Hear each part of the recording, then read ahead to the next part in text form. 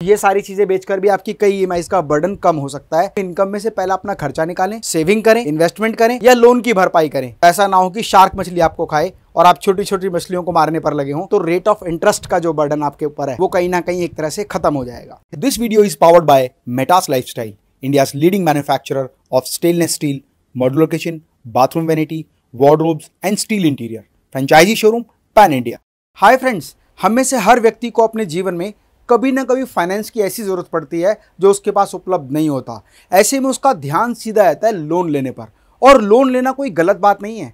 लेकिन कई बार हम लोन ऐसी ज़रूरतों के लिए ले लेते हैं जिससे हम एक बोझ तले दब जाते हैं। और कई बार हमें ये पता ही नहीं लग पाता कि धीरे धीरे धीरे धीरे लोन का ट्रैप हमारे ऊपर इतना बढ़ गया है कि हम उसके बोझ तले दब गए हैं। इसीलिए आज हम बात करेंगे कि कैसे हम कर्जे से आसानी से मुक्ति पा सकें ताकि हम एक कर्जा फ्री लाइफ जी सकें, कर्ज फ्री लाइफ हमारी हो। How to get out of debt और डेट मतलब कर्जा। हम ऐसा क्या करें कि हम कर्जे से उभर कर बाहर आएँ और अपनी इनकम को, अपनी ग्रोथ के लिए इस्तेमाल करें। तो सबसे पहली बात आपको क्या करनी है? Identify your debt on the basis of EMI and rate of interest क्या होता है कि हम कई बार बहुत सारे लोन लेते रहते हैं। जैसी ज़रूरत पड़ी, ज़रूरत के हिसाब से हमने लोन ले लिया। जैसे हमें घर की ज़रूरत पड़ दी हमने होम लोन ले लिया, हमने गाड़ी खरीदी कार लोन ले लिया, हमने अपने बिज़नेस को एक्सपेंशन की ओर ले जाने के लिए बिज़नेस लोन ले लिया, या अपनी ज़रूरतों को पूरा करने के लिए पिकनिक ट्रिप के लिए फैमिली टूर के लिए फैमिली में किसी की शादी के लिए हमने पर्सनल लोन ले लिया, अपने बच्चों को हायर एजुकेशन देने के लिए हमने एजुकेशन लोन ले लिया।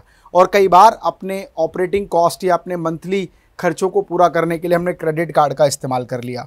ऐसे में क्या होता है धीरे धीरे लोन का जो बर्डन है, हमारे ऊपर बढ़ता जाता है। और कई बार ये बर्डन इतना बड़ा हो जाता है कि हम ये समझ नहीं पाते कि भाई आयु इनकम में से पहला अपना खर्चा निकालें, सेविंग करें, इन्वेस्टमेंट करें या लोन की भरपाई करें। क्योंकि लोन का अमाउंट कई बार आपकी सैलरी के बराबर या उससे ज़्यादा भी हो जाता है। सैलरी हो या इनकम हो, एक ही बात है आपकी इनकम से ज़्यादा बर्डन आपके ऊपर हो जाता है। तो सबसे पहले आपको आइडेंटिफाई करना है कि जो आपका डेट है, वो इंटरेस्ट और ईएमआई के बेसिस पर कौन सा हायर है। आप ये देखें कि किस लोन पर रेट ऑफ़ इंटरेस्ट सबसे ज़्यादा है। तो सबसे पहले उसी लोन को ख़त्म किया जाए, ताकि ज़्यादा ब्याज आपको ना भरना पड़े और लोन का बर्डन भी आपके ऊपर कम हो जाए। जैसे अगर हम क्रेडिट कार्ड का इस्तेमाल भी करते हैं और कार लोन भी हम भर रहे हैं तो सबसे पहले कार लोन की ईएमआई बेशक बाउंस हो जाए, लेकिन क्रेडिट कार्ड की ई बाउंस नहीं होनी चाहिए, क्योंकि क्रेडिट कार्ड पर लगभग 30 परसेंट का रेट ऑफ़ इंटरेस्ट है। वैसे तो ई कोई सी बाउंस नहीं होनी चाहिए, पर अगर मैं प्रायोरिटी की बात करूँ तो सबसे पहले क्रेडिट कार्ड की ई या इसके लोन को ख़त्म करना है। उसके बाद आप देखें रेट ऑफ़ इंटरेस्ट किसका है ये? जैसे आपका पर्सनल लोन है, फिर इसको ख़त्म करना है, फिर उसके बाद आपका बिज़नेस लोन फिर आपका कार लोन फिर आपका एजुकेशन लोन फिर आपका होम लोन और होम लोन तो वैसे भी हमें ज़्यादातर पंद्रह साल, बीस साल, इतने समय अवधि के लिए हम लोग लेते हैं। तो यहाँ पर अगर कुछ ई एम स्किप भी होती है, उसकी वजह से अगर हम किसी बड़े लोन का भुगतान करके उस बर्डन को ख़त्म कर सकें तो हम आसानी से ग्रोथ की ओर जा सकते हैं। दूसरा इंपॉर्टेंट फैक्टर जो काम करता है, वो ये है calculate the total E M and your total income सबसे पहले आपको ये पता होना चाहिए कि आपकी टोटल ईएमआई कितनी जा रही है। मतलब आपका फॉर एग्ज़ाम्पल कार लोन जाता है सेवन थाउज़ेंड होम लोन जाता है, टेन थाउज़ेंड, क्रेडिट कार्ड की ई जाती है, थर्टीन थाउज़ेंड। आप सारा कैलकुलेट करें। जैसे अगर मैं ये कैलकुलेट करूँ तो तेरह और सात, बीस और दस, तीस हज़ार रुपये पर मंथ आप ई e भर रहे हैं। है ना?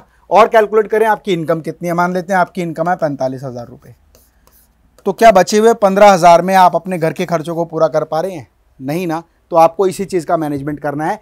पहले कैलकुलेट करें इनकम कितनी है और ई e कितनी है। Calculate total personal monthly expense उसके बाद ये चेक करें कि आपकी टोटल इनकम में से ईएमआई भरने के बाद जो आपके पास बैलेंस बच रहा है, क्या वो आपके मंथली एक्सपेंसेस को मीटअप करने के लिए काफ़ी है?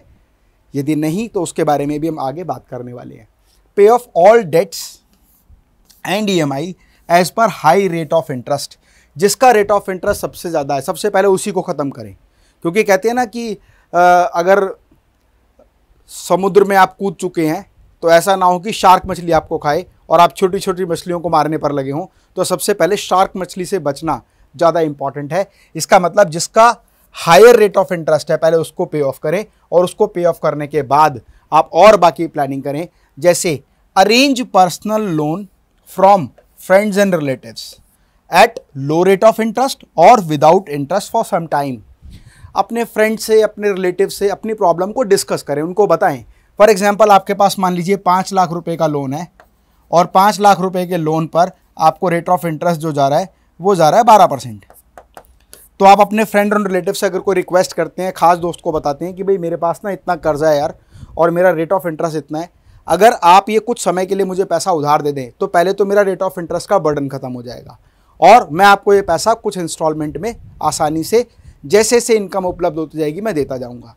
विश्वास माने, अगर आप पूरे विश्वास के साथ अपने ऐसे फ्रेंड्स एंड रिलेटिव्स को ढूंढना शुरू करते हैं तो आपको आसानी से ऐसे लोग ज़रूर मिलते हैं, जो आपकी प्रॉब्लम को समझकर आपको हेल्प करने के लिए तैयार हो जाते हैं। पर वैसे ये कहा जाता है कि जब इनकम कमा रहे होते हैं ना तो सारे रिलेटिव भी हेल्प करने के लिए तैयार हो जाते हैं। लेकिन समस्या में कोई समस्या का समाधान करने के लिए तैयार नहीं होता, पर यदि आप एफर्ट करेंगे तो ऐसे लोग भी आपको मिलेंगे। अगर ऐसे लोग आपको मिलते हैं तो रेट ऑफ़ इंटरेस्ट का जो बर्डन आपके ऊपर है वो कहीं ना कहीं एक तरह से ख़त्म हो जाएगा। ये भी एक ट्राई कर सकते हैं। उसके अलावा sell your all unused assets और gadgets are not in use आपके पास बहुत सारी ऐसी अनयूटिलाइज एसेट्स हैं जिनको आप यूज़ नहीं कर रहे। अमूमन जिसमें हम दो या तीन साल से अधिक समय से हम जिन एसेट्स को यूज़ नहीं कर रहे, वो आपके लिए यूज़लेस हैं। तो ऐसी यूज़लेस एसेट्स को अपने पास रखकर आप केवल उसकी वैल्यू को डेप्रिशिएट कर रहे हैं। ऐसे में आपको वो एसेट्स पहले सेल कर देनी चाहिए। जैसे आपका पुराना कंप्यूटर है, आपने देखा पुराना कैमरा आपके पास है, मोबाइल फ़ोन्स कई लोगों के पास चार चार, पाँच पाँच मोबाइल फ़ोन घर में रखे हुए हैं। वो ऐसे ही रखे हुए हैं कि चलो ठीक है, जब कभी मौका मिलेगा तो बेच देंगे। और धीरे धीरे उनकी वैल्यू डाउन हो रही है। आपकी कोई साइकिल है, कोई स्कूटर है, कोई थ्री व्हीलर है है ना? आपके इलेक्ट्रॉनिक गैजेट्स हैं माइक्रोवेव है अवन है टीवी है सोफ़ा सेट है ऑल डाइनिंग पुराना। अब ये नहीं कह रहा मैं कि आप घर का सामान बेचकर कर्जा चुका दें। ध्यान से समझिएगा मेरा कहने का कहीं भी तात्पर्य ये नहीं कि आप अपने घर के एसेट्स को बेचकर अपना कर्जा चुका दें। बहुत सारे लोगों के पास इतना सारा अनयूटिलाइज फर्नीचर स्टोर रूम में भरा हुआ होता है जिसको वो यूज़ नहीं कर रहे हैं, है ना? तो ये सारी चीज़ें बेचकर भी आपकी कई ई का बर्डन कम हो सकता है, ये भी आप ज़रूर करें। इसके अलावा generate more ways of income problem पता है क्या है? प्रॉब्लम ये नहीं है कि आपकी ई एम आई तीस हज़ार रुपये की है। प्रॉब्लम ये है कि आपकी इनकम पैंतालीस हज़ार रुपये की है। अब दो तरीके हैं।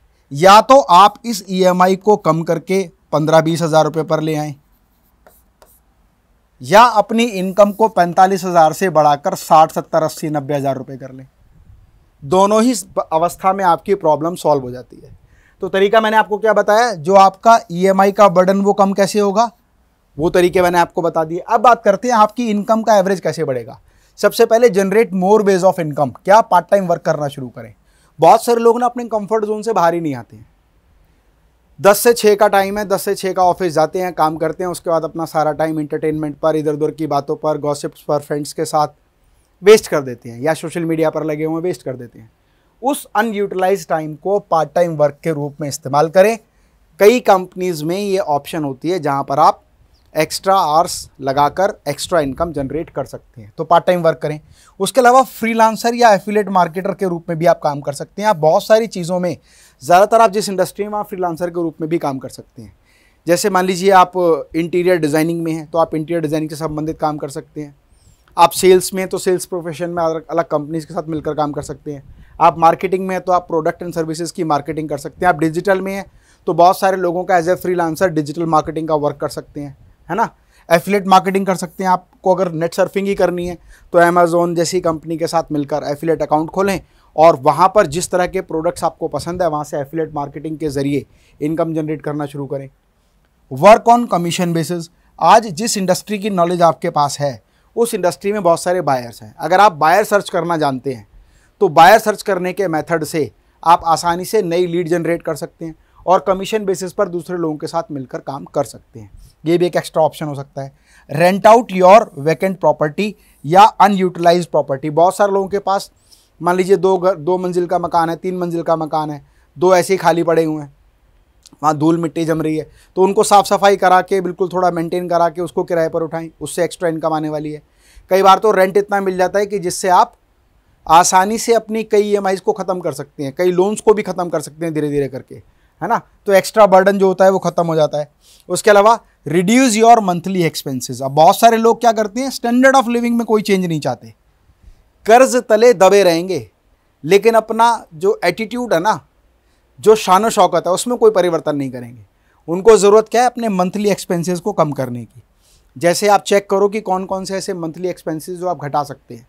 जैसे आप महीने में दो बार तीन बार रेस्ट हो जाते हैं तो वो आप आ, अपना खर्चा कम कर सकते हैं। फ्रेंड्स के साथ जो आप पैसा खर्च कर करते हैं उस बजट को आप मेंटेन कर सकते हैं। फैमिली के साथ जो इंटरटेनमेंट पर एक्स्ट्रा ट्रिप पर घूमने फिरने पर बहुत एक्स्ट्रा जो आप खर्च कर रहे हैं शॉपिंग पर वो सारे खर्चे आप कंट्रोल कर सकते हैं जिससे आप अपनी सेविंग्स को बढ़ा सकते हैं। और सेविंग्स का इस्तेमाल सबसे पहले तो अपनी ई भरने के लिए लोन कम करने के लिए और इन्वेस्टमेंट के लिए उसका इस्तेमाल कर सकते हैं। और जब आप एक्स्ट्रा सोर्स ऑफ़ अर्निंग के लिए काम करेंगे तो मैंने आपको बताया, पहला काम तो करना है आपको, आपका जो लोन है, उस लोन के अमाउंट को, मान लो तीस हज़ार रुपये आपका लोन है ईएमआई है, उसको कम करना है, दस हज़ार, बारह हज़ार, पंद्रह हज़ार पर लेकर आना है, और हो सके तो भविष्य में इसको बिल्कुल ज़ीरो लेकर आना है, और जो आपकी इनकम पैंतालीस हज़ार रुपये है, इस इनकम को बढ़ाकर पचास हज़ार, साठ हज़ार, सत्तर हज़ार और एक लाख रुपये तक लाना है।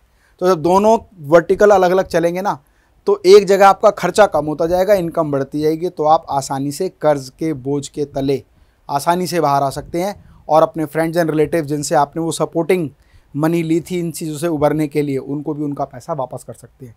तो ये कुछ ऐसे उपाय हैं जिनको अपनाकर आप आसानी से कर्ज के बोझ से बच सकते हैं। फ्रेंड्स इंपॉर्टेंट बात क्या है? अगर आप रेगुलर इनकम पर ध्यान देते हैं, अपनी इनकम की जनरेशन पर ध्यान देते हैं इनकम की ग्रोथ पर ध्यान देते हैं इनकम जनरेट करने के नए रिसोर्सेज पर ध्यान देते हैं।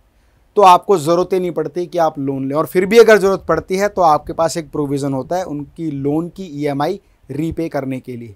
इसीलिए हर चीज़ को मैनेज करके चलें और सबसे ज़्यादा फोकस आपका आपकी इनकम के जनरेशन पर होना चाहिए। इसके अलावा यदि आपके मन में कोई भी प्रश्न है, जो आपको लगता है कि आपको परेशान कर रहा है तो मुझे कॉमेंट बॉक्स में आप ज़रूर लिखें। और कोई भी इंफॉर्मेटिव वीडियो मिस ना उसके लिए चैनल को सब्सक्राइब करें। बेल आइकन को ज़रूर प्रेस करें ताकि वीडियो का नोटिफिकेशन सबसे पहले आपको मिले। स्वस्थ रहें, मस्त रहें। मैं डॉक्टर अमित माहेश्वरी, आपके सुनहरे भविष्य की कामना करता हूँ। जय हिंद, जय भारत।